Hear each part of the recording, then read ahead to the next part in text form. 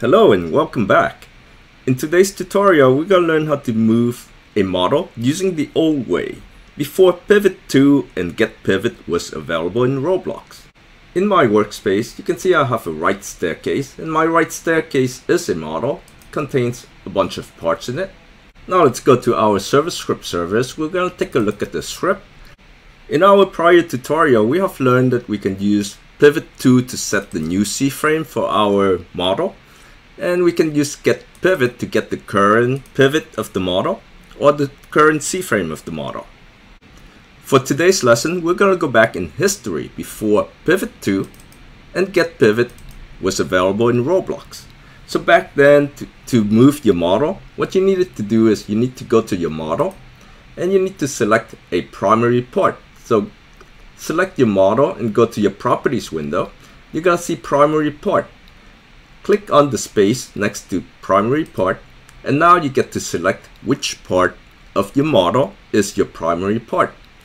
I have part 1 here, so I'm going to select part 1 as my primary part. As soon as I clicked on part 1, you can see that part 1 is filled in right next to primary part in the properties window.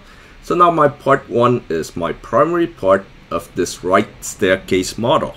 Once you have selected your primary part for your model, go back to your script. Instead of get pivot, we're gonna say get primary part C-frame. And instead of pivot 2, we're gonna say set primary part C-frame.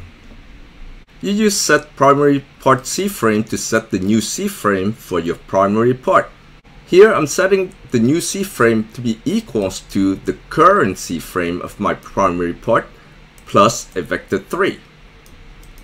Basically when the primary part of the model is moved, everything else in the model moves with it.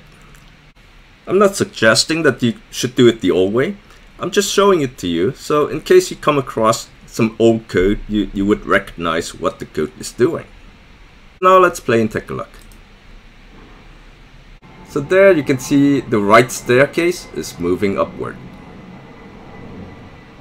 Now instead of using get primary part C-frame, I could have just reference to the primary part directly. For example here, I'm gonna say right staircase dot primary part, which is the property of the model, the right staircase model, dot C-frame.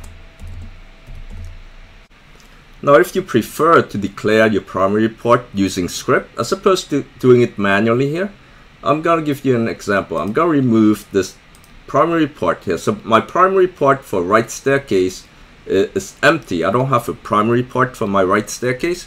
But I'm gonna go inside my script here and I'm gonna set right staircase dot primary part equals to right staircase dot part 1.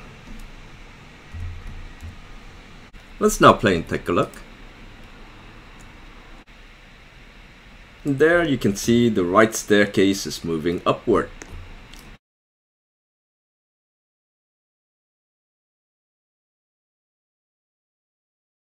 Everyone, that's how you move a model in the old days.